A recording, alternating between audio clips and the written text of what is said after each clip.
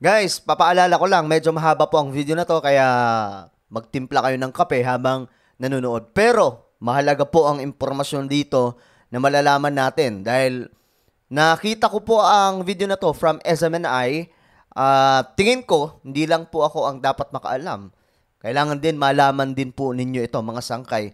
About po ito sa Amerika na plano daw po kay PBBM. So ano kaya ito mga sangkay? Dahil binisto daw po ito ng international lawyer. Ngayon, papakita at ipapanood ko po ito. Pero bago po natin umpisahan yan, mga sangkay, ang pinakamahalagang batas muna natin ang gawin. Talpa ka na. I-like po ang video na to habang ah, kung kung ano ba tawag dito? Bago mo natin ituloy-tuloy ang ating uh, content ngayon, sabay-sabay nyo nang gawin ang pinakamahalagang batas dito, ang i-like ang video na to in 20 seconds.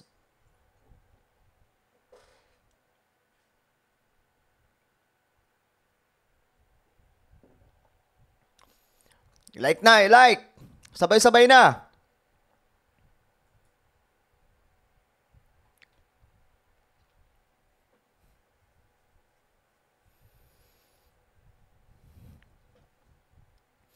O ano, okay na ba? Mag-umpisa na po tayo. Dire-diretso lang po ito ha, hindi ko na po ipopost. So ito po ay galing sa SMNI. Anyway, shoutout po sa mga taga SMNI, yung mga magagaling na mga anchor, mga reporter dyan. Kay Pastor Kibuloy, syempre, no? Mabuhay po kayo. So, eto, pakinggan po natin itong balita kasi nakalagay po dyan, plano ng Amerika kay BBM. Binuking ng international lawyer. So ano kaya ito? Masama ba o hindi? Well, pakinggan po natin. Via Zoom, walang iba, kundi si Attorney Arnedo Valera, isang international lawyer. Attorney, good morning. Si Jade po ito at si Mike Abe sa Usaping Bayan. Maraming salamat po sa inyong oras. Good morning, Attorney. Magandang umaga, Jade. At uh, magandang umaga rin, Mike. And of course, uh, maraming salamat muli sa pagkakataon na uh, mag-share ng insights at views sa inyo. And uh, babati na rin ako sa ating mga masugid na nanonood at nakikinig sa social media. Mm-hmm. Alam nyo, marami kayong avid fans dito ngayon sa Amerika, lalong-lalo na sa Washington DC area at sa New York. No? Maganda pong umaga sa inyong lahat. Sana po ay uh, nasa well, you are well uh, safe and uh, lahat po tayo ay masigla. Okay. Attorney, thank you. Ha. Suki ka na namin nung araw pa sa radio, TV. Pero salamat sa oras na pinagkakat- pinagkakaloob nyo kahit na alam namin napakalayo ng pagkakaiba. Ngayon, gabi dyan, dito umagang-umaga. Mm-hmm. So, Attorney, ganito, ang dalawang, dalawang, isa sa mga una kong itanong, uh, merong invitation si President Joe Biden kay President Marcos. Meron ding uh, United Nations General Assembly na, na sa New York na posibleng puntahan ni Pangulong Marcos. Ngayon, ang tanong, dahil nga sabi nila, for security, sabi ng mga Pilipino, huwag muna, pero ito daw ay kailangan. So, kayo bilang isang abogado, international lawyer, at kayo matagal dyan ng Pilipino sa abroad, especially sa Estados Unidos, gaano kahalaga ito na hindi dapat iatras? Gaano kahalaga din ito para sa atin, para, para naman ho, it, huwag ituloy ang mga biyaheng ito? Paki paki-educate nga po ninyo ang ating mga nanonood ngayon kasi nag-aaway, hindi man away, nagbubungguan sila ng idea.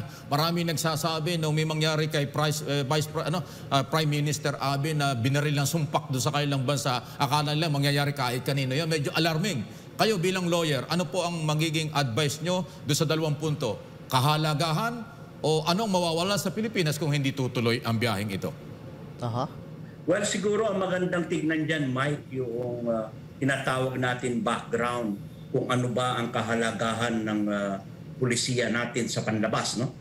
Or even yung specifically yung foreign policy. Kasi alam mo, mahalaga rito tignan yung halige, tatlong halige ng ating foreign policy at isa dyan yung, uh, yung patuloy na ugnayan sa mga iba't ibang bansa at different international organizations. No? Sa usapin naman ng mga bansa, alam natin yan na uh, nagkaroon tayo ng deklarasyon na lahat kaibigan natin, wala tayong paaway, at iba't ibang imbitasyon ngayon ang lumalabas. Ngayon, puntahan natin yung punto mo, no? kailangan bang uh, bumisita si uh, Pangulong BBM Jr. dito uh, sa imbitasyon halimbawa ni President Biden. siguro ang dapat tignan dyan is uh, meron bang prioridad na dapat gawin yan? Yan ang unang tatanungin eh. Or kaya bang gawin yung visit na yan na kung hindi naman kinakailangan yung physical presence uh, considering na nasa gitna pa rin tayo ng pandemya. At pangalawa, ano yung kahalagahan ng pagbisita nito, no? Kung ang sinusunod natin halimbawa ay uh, foreign policy na kung saan ay lahat kaibigan natin at wala tayong tinuturing This revolutionary new device can Ayun lang. Wait lang, may ads. Oh, game. Meron tayong batayang prinsipyo na tayo ay nagpupursu ng independent foreign policy. So titignan yung mga elemento niyan. Kung ito bang pagbisita sa Amerika sa imbitasyon ni President Biden ay saklaw ba yan or naakma doon sa independent foreign policy statement or declaration ng ating Pangulong BBM Jr. na kung saan ay sinabi naman niya na itutuloy niya no yung uh, uh, merong continuity ng uh, uh, foreign policy ni President Duterte no sang-ayon doon sa pambansang interes ng Pilipinas so mahalaga yung uh, tignan niyan ng mga advisors ni uh, Pangulong BBM Jr. kasi usapin yan ng uh, hindi lang national security usapin din ng economic security uh, and then at the same time yung pag-strengthen ng bilateral relationship with other countries and at the same time yung multilateral din na relasyon sa iba't ibang bansa. So alam naman natin na tayo bilang uh, isang soberenya at malayang bansa ay uh, meron tayong sariling kapakanan na dapat uh, bigyan ng seguridad at i-preserve, no? At meron tayong national interest na tayo lang mismo ang magdi-define. Hindi yan dapat i-define ng uh, iba't ibang bansa. Tayo ang nakakaalam kung ano mas maganda at makakabuti sa sambayan ng Pilipino, no? Ngayon yung imbitasyon ng uh, UN General Assembly, mahalaga yan, no? Yes. Pero ano ba yung objectives, no? Ano ba yung makakamit na tinatawag nating positive uh, effect nito, no? Or ito ba ay uh, kung babalansehin mo, halimbawa, uh, yung situation, alam natin na gusto natin na magkaroon ng positive image ang Pilipinas. Pero titignan din natin yung seguridad ni Pangulong BBM Jr. And then of course, pangalawa, tignan natin yung mga nagbabalak na maplano na sirain. Alam natin patuloy yan. Kahit na sa New York, sa Estados Unidos, hindi titigil ang kalaban ng uh, uh, administrasyong BBM Jr. Uh, bagamat uh, makasaysayan yung halalan na naganap na 31 million ang bumoto at nanalo siya rito sa Amerika. No? Pero ayan ang kanilang uh, uh, tinatawag na uh, uh, i-weigh, no? yung balansehin yan. Uh, prioridad ba ngayon yan ng ating uh, pamahalaan na lumabas si Pangulong BBM Jr.? Or ang nakikita ko kasi ngayon, mas priority yung internal. Eh. Yung mas priority yung uh, bigyan niya ng uh, tamang kasagutan at yun nga ang ginagawa niya at very positive yan yung tinatawag okay. nating uh, uh, tinitignan niya yung usaping panloob no? Ilala kaya napakaganda nung nangyayari sa loob ng uh, sampung araw or almost 11 days ng kanyang administration ay uh, matibay yung economic team niya no? Alam nila kung ano yung uh, tutusigin nila no? Uh, at yung tinatawag nating prioridad lalong lalo na sa okay. usapin ng economic security. And by the way economic security isang mahalaking uh, malaki at uh, mahalagang haligi rin yan ng ating foreign policy no? Uh, well, Mike yes. and Jay. Well, uh, sa tingin po ninyo bilang isa sa mga international lawyer na Pilipino diyan sa Estados Unidos uh, kailangan na ba ngayong taong ito ay alam nating mahalaga hindi naman pwedeng walang uh, hindi mahalaga yung biyahe kung sakali both uh, pabor sa Pilipinas pabor sa US pabor sa atin sa United Nations.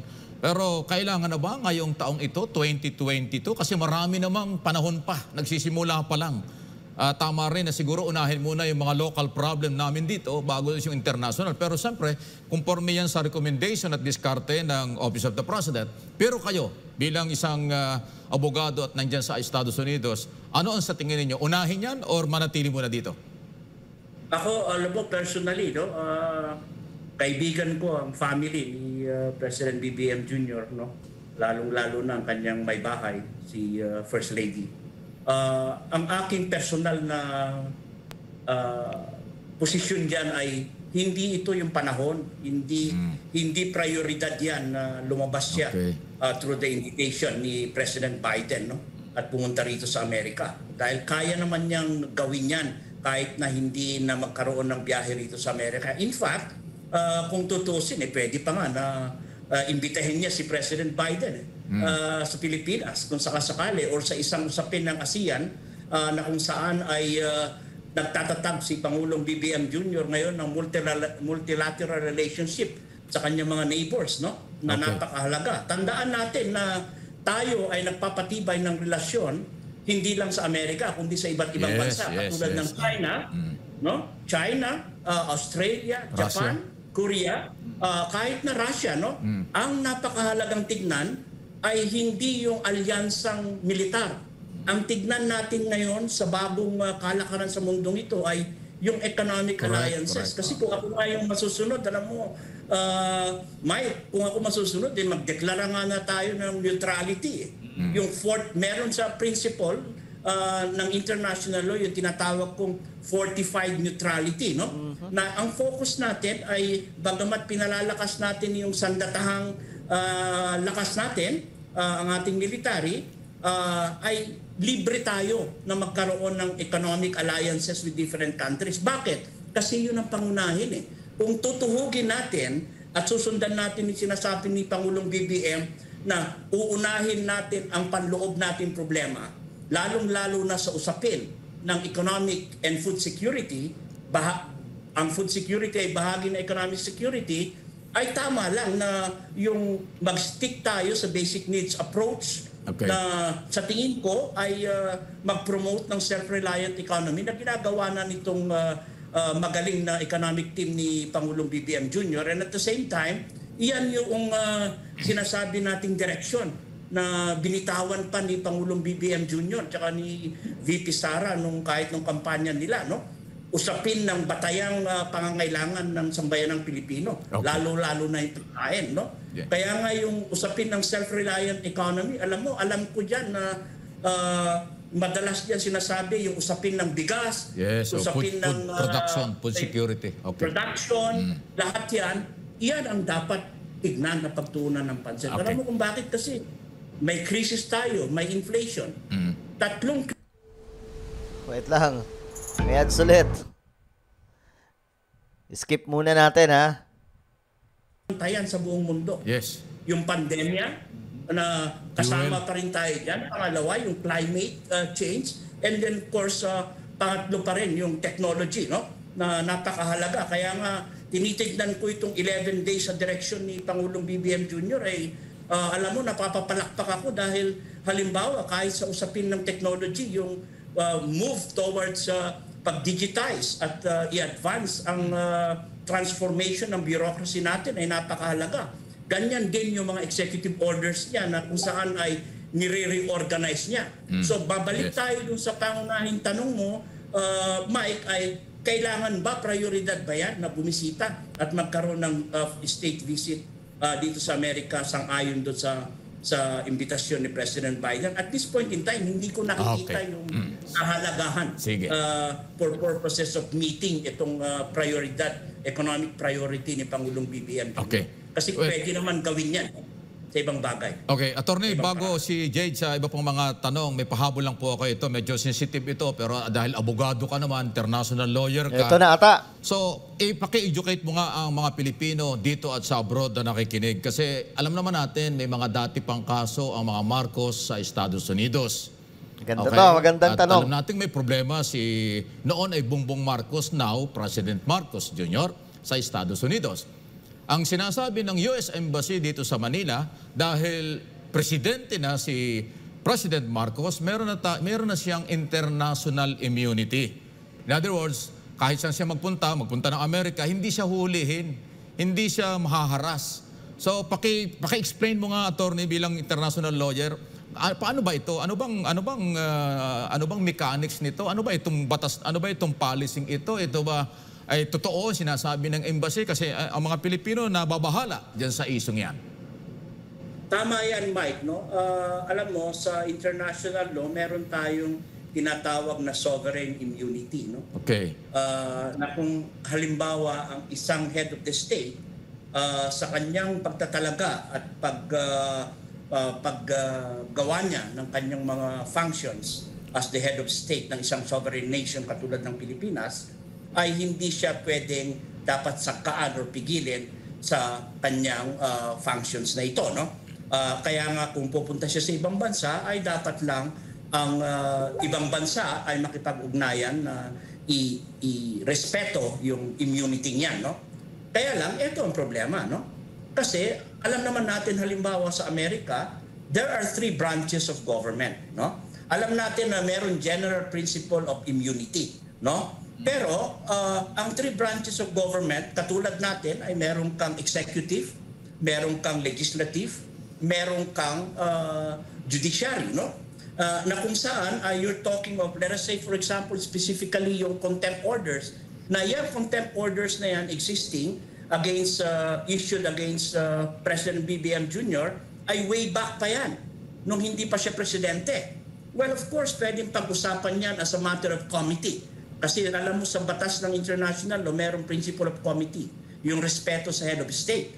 Pero yung usapin ng embarrassing the head of state ay may meron na tayong mga different uh, examples yan na nagawa no na sineserve yung contempt order dahil yan ay uh, independent ang court uh, doon sa executive uh, uh, executive branch katulad ng uh, Department of State na bahagi yan ng executive branch ng Estados Unidos. Kakaiba yan sa korte. So, alam natin na pwedeng mapag-usapan yan, pero ah, yung ikokos nilang embarrassment sa ating Pangulong BBM Jr.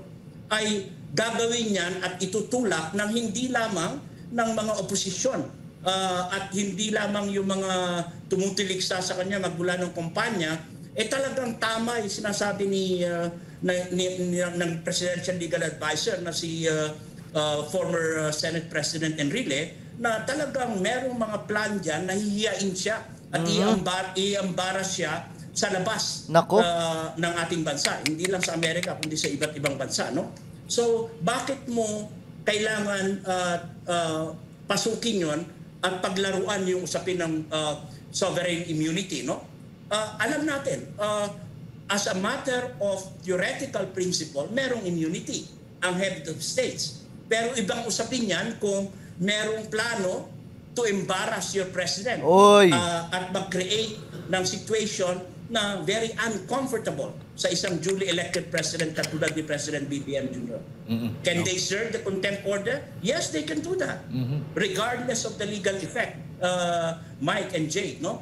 Uh, the fact is, nandun na yung damage that is to be done. And kung ako yung advisor ni Pangulong BBM Jr., I'm not going to risk that Totoo. just for purposes na pahiyain ako sa ibang bansa. No? Kasi walang control ang Department of State dyan when that time comes na sineserve nila ang contempt order, for example. So dapat yan, attorney, ang ikonsidera ng ah, BBM camp na kung pupunta ba o hindi dyan sa Amerika. Dahil kung ah, maalala mo, ah, attorney, ito palang ah, kaso na yan dyan sa Amerika, eh, nag 350 million US dollars contempt judgment pala dahil sa paglabag ng utos na ipinagbabawal ang paggalaw ng mga ari-arian ng mga Marcos Okay. na nakalaan para sa mga human rights vic- victims noong ah, martial law. Yan ang hatol ng ah, korte dyan sa Aha. Amerika kay Bongbong Marcos at sa kanyang ina na si Imelda Marcos.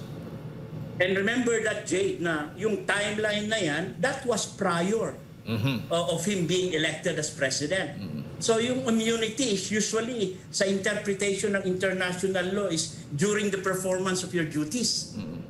So yun yan. So may mga loopholes dyan, legal loopholes in terms of that contempt order existing na before. So papayag ba ang court or through the proddings of the executive branch na ang court dito sa Amerika ay i-lift nila yung contempt order? Well, kung meron silang 100% guarantee na ililift nila yung contempt order, well and good.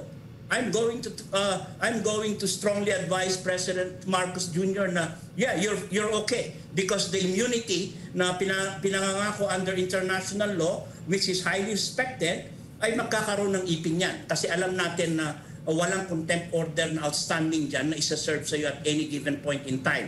Kasi paglabas mo sa isang performance of a uh, governmental function, uh, halimbawa sa state visit mo, paglabas mo dyan, ay ibang usapin na yan. Di ba? So at any given point in time, an independent branch of the government like the uh, judiciary can exercise its functions. Hindi yan pwedeng diktahan dito sa Amerika ng executive at ng legislative. At iyan ay uh, itinatawag natin i-exploit ng mga kalaban ni Pangulong BBM Jr. Eh kahit pa mismo si President uh, Biden pala ang nag-imbita, uh, attorney, eh talagang walang magagawa si BBM kung gustuhin ng korte doon na i-serve yung uh, kanyang kaso. Ganun po ba? Oo, tama yun. Kasi ang punto rito is uh, yung pagsaserve na yan, uh, regardless kung may immunity siya o wala, ay pwedeng gawin niya ng korte. No? Okay, ads na naman. So, skip lang natin saglit, guys. Okay. Ginawa yan, halimbawa na hindi nalilift yung contempt order, uh, you have done the damage. Nandun na yung embarrassment, yung political embarrassment. At tandaan natin na itong political embarrassment na ito ay hindi lamang uh, para kay Pangulong BBM Jr., kundi sa sambayan ng Pilipino. So, uh, wala kang 100% assurance dyan, no? Na magkakaroon ng tinatawag nating uh, uh, principle of committee na ma-observe na kung saan ay hindi yan maisa-serve kung, sa- kung nandito na siya rito sa Amerika. Ang pagkakaalam natin, attorney, hindi lamang Amerika ang nag-imbita kay uh, Pangulong Marcos, kundi maging ang China. Ano naman ho yung dating po sa inyo uh, doon, sa imbitasyon na yan? Well, uh, yung, yung mga bagay na walang komplikasyon, eh, alam mo naman, simple lang ang solusyon yan. Eh, uh, puntahan, Ayun. di ba? Okay. Tand- tandaan natin sa isang multipolar world, sa relasyon, uh, kung titignan natin yung prinsipyo na binitawan ni Pangulong BBM Jr., uh, magmula ng kumpanya magpahanggang ngayon, na tayong bansa ay isang malayang bansa at meron tayong sali- sariling pambansang interest uh, na kakaiba sa pambansang interest ng Amerika, China at Russia.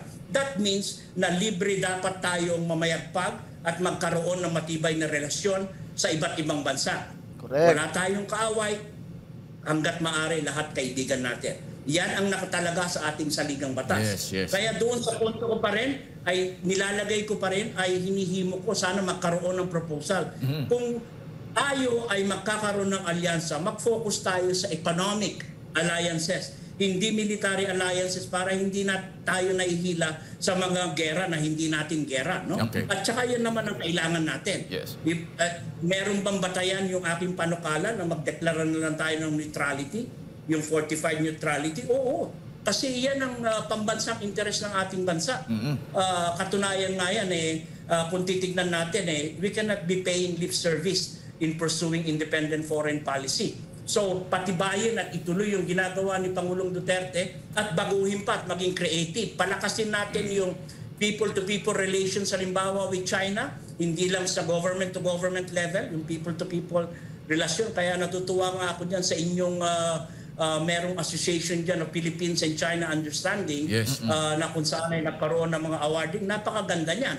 At pati na sa ibang bansa, Australia, uh, Korea, Russia, yan ang kailangan natin. Kasi tandaan natin na ang ating national interest, we should definitely define Okay. it. At yan ay kakaiba sa mga Okay. pambansang interest. Well, uh, attorney si Mike Abi po ito. Ah, may singit lang po ako at uh, doon sa issue ho nung ah, sinasabi niyo na pwedeng actually hindi yung aking nalaman doon sa ibang abogado eh.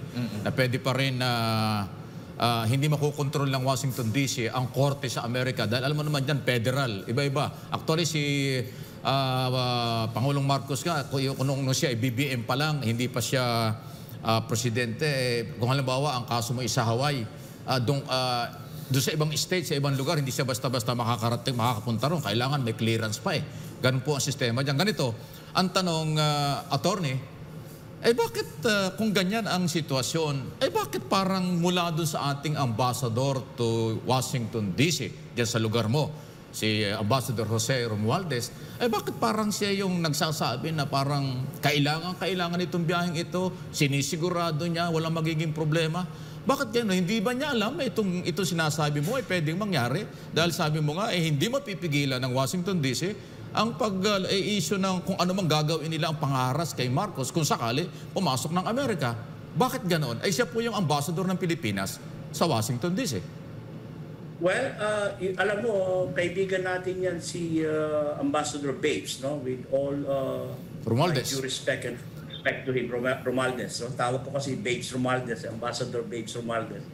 Uh, ang kailangan dyan ay suriin talaga yung konteksto at saka yung prinsipyo ng uh, immunity na tinatawag nila diplomatic immunity or kung immunity ng heads of state no uh, vis-a-vis doon sa court orders na that were existing already uh, before maging presidente si Pangulong BBM Jr. no so uh, balansihin natin yan kasi uh, wala tayong garantiya dyan nga eh. na hindi magkakaroon ng political embarrassment na nga. ang ating Pangulong BBM Jr. And ako, isa akong tatayo dyan na I don't want that to happen Hmm. in these early years nang uh, meron tayong historical na election at nahalal. Eh, pero ganito, ah, pero ganito, attorney, masingit lang ako para lang humalinaw. Total, nandiyan naman kayo, Pilipino kayo, may puso sa mga Pilipino, may pagmamahal sa ating Pangulong Marcos. Eh, pwede siguro kayong ah, mag-advise sa ating ambassador na magdahan-dahan tayo dito dahil alam ko ang ang paniniwalaan ng Office of the President ay base sa recommendation at pagsusuri ng ating ambassador Tama. para sa seguridad at relasyon sa bansa. Yun ang trabaho niya eh. Pero sa ngayon po, pasintabi na kay Ambassador Romualdez, eh, excited siya ang dating eh. Excited para sa akin, excited yung kanyang pagpapaliwanag na definitely pupunta ng United Nations General Assembly at yung invitation eh, pwede rin pagbigyan. Pagkatapos ito sinasabi mo bilang international lawyer, siguro para makatulong sa seguridad at nang hindi na ho mangamba ang mga Pilipino, pwede mo sigurong sabihan o advice or uh, ipaalaala sa isang ambassador itong mga posibleng mangyari na dapat ay atin mo ng ingatan, siguraduhin before tayo magdesisyon. Pasintabi na ho, hindi kita inuutusan. Idea lang ito, attorney, kung anong inyong daon ng dating sa inyo. Alam mo, nabasa ko yung kanyang pronouncement dyan. Eh. Kaibigan ko matalik si uh, Ambassador Romualdez. No? Uh, I'm just 20 minutes away from him. No? Uh, Mag-i-email ako sa kanya in person actually nung nabasa ko yon. Uh, maraming lumalabas, no? different kinds of uh, legal international law principles na pinapaliwanag yung sovereignty. Pero in theory, okay siya. Pero pagdating mo sa practice, makikita mo ngayon dyan yung uh, dynamics at interplay ng federal and state law. Katulad nung nabanggit mo, State of Hawaii, may sarili yan na palo kasi may sariling saligang batas yan tsaka konstitusyon at doon sa mga federal laws. No? Kaya uh, I, I will definitely uh, uh, send my comments uh, regarding that. No? Uh, naintindihan naman natin na we want to create a positive image at healthy relationship at stabilize yung relasyon ng uh, Amerika at ng ating bansa. No? Ito na yung pagkakataon. Pero at this point in time, alam mo, uh, it's too early. Uh, hindi naman kailangan. Uh, kung makaya mong i-attain at ma-reach yung objective mo for establishing a healthy relationship with two independent countries, uh, Philippines and the United States, na hindi ka uh, magtataya o magte-take ng risk or mag-assume ng risk uh, on polit- towards political embarrassment uh, as a head of state, eh dapat tignan din yon at i-weigh in ng uh, Okay. Ads. So, skip ulit natin mga sangkay. Ay nako, medyo malalim po yung pinag-uusapan and I hope na makaka-relate po ang lahat at magigets po ng lahat. at ng mga ibang officials ng Philippine government. Mike. Well, uh, attorney, uh, alam po natin sa kabila po doon na nakita po natin na noong uh, inaugurasyon ni President Bongbong Marcos eh nagpadala ang Amerika ng mga delegado. Ang ibang mga bansa nagpadala din. Um, ano ho ba ang naramdaman ninyo at nakikita uh, dito sa pag- pagdating at pagdalo ng mga matataas na opisyal mula sa iba-ibang mga bansa sa mismong inaugurasyon ni President Bongbong Marcos? Alam mo, uh, Jade, uh, bilang Pilipino, taas noo ako niya sa ganyan. No? Talagang uh, uh, makabagdam-bagdam namin niya na nakakataba ng puso yan na makita mo yung respetong uh, nilalahad at binibigay ng iba't ibang bansa na hindi lang isa o dalawang opisyal ang pinagdadala nila. Kung marami talaga, no? Kasi nililigawan tayo strategically, mahalaga yung ating ah, lokasyon at mahalaga yung ating ah, kalagayan sa geopolitics, no?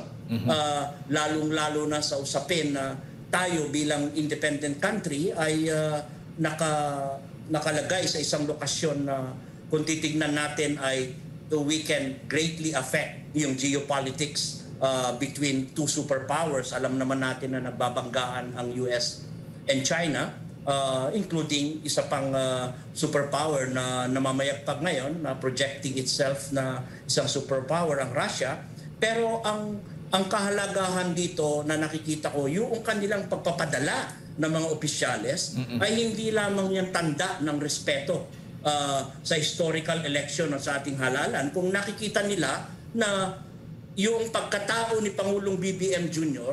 ay binibigyan nila ng pagkakataon at naniniwala sila na magtutulak si Pangulong BBM Jr. ng isang uh, economic prosperity or direction papuntang economic prosperity na kung saan ay dineklara niya na ako ay makikipagkaibigan sa inyong lahat at mag-establish ako ng diplomatic relations, multilateral and bilateral. At iyan ang mahalaga dahil iyan ang national interest ng ating bansa. At aasahan natin, attorney, na sa mga susunod na mga araw sa ilalim ng panunukulan ni, eh, ni Mar- ng Marcos administration ay positibo at um, mararamdaman natin ang tulong Okay. ng iba-ibang mga bansa. Sigurado yan. Dahil Sa ganitong pagkakataon ng ugnayan, alam mo, isang mahalagang haligi yan. Yung tinatawag nating uh, economic security, hindi lang panloob kundi panglabas. Kasi alam naman natin sa isang globalized world, yung economic security natin ay nakakawin yan sa relasyon natin sa iba't ibang bansa katulad ng China, Australia, Korea, Japan, US at ng Russia. No? Kahit sinong bansa ay dapat kaugnay natin, kaibigan natin. Kasi alam natin kung ano yung pangunahing pangangailangan ng sambayan ng Pilipino. Yan ang mas mahalaga sa Okay. lahat.